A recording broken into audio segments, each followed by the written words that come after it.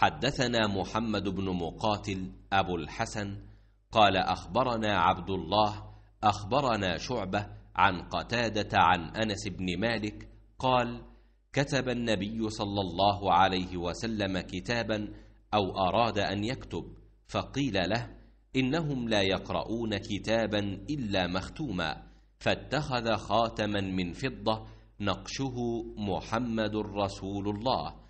كأني أنظر إلى بياضه في يده فقلت لقتادة من قال نقشه محمد رسول الله؟ قال أنس